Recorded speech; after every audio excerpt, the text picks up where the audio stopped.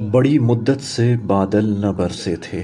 दरख्त खुश्क और ज़मीन बेआबो गया हो चुकी थी। अहल परेशान होकर दरे अमीरमिन सलाम पर गए। खुश्क साली की शिकायत की और इनसे दरख्वास्त की कि नज़ुल बारान के लिए दुआ करें।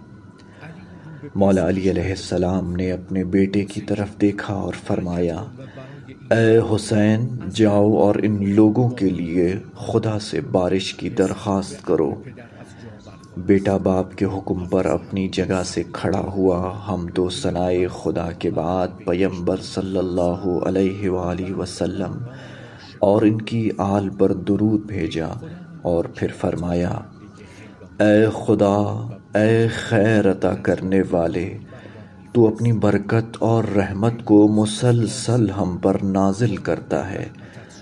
आज हम बंदगान पर आसमान से बारान रहमत नाजिल कर, ताकि सैराब हो जाए। तमाम तशना मखलूक़ात को सैराब कर, ताकि ज़यीफ़ शादमान हो जाए मुर्दा ज़मीन ज़िंदा हो जाए और इनसे बरकत फूट पड़े।